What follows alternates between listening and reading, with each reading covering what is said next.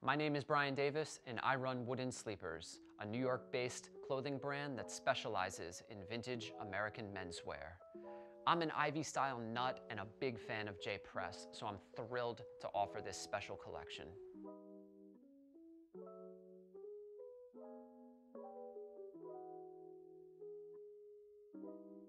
Defining Ivy style is tricky.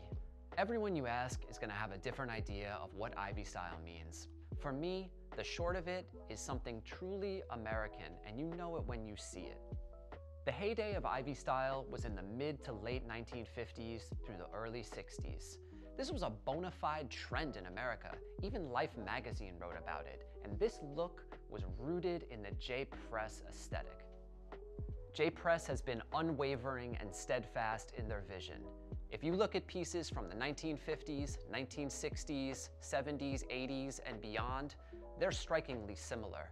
Oxford cloth shirts, Shetland sweaters, tweed jackets, rep ties, and sack suits. I wanted to bring an authentic mix of real Ivy style pieces from that era and blend them with vintage J Press pieces.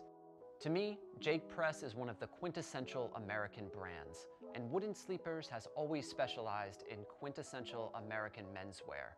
Working together seemed like a no-brainer. These pieces should play nice with new J Press pieces as well as stuff that's in your wardrobe.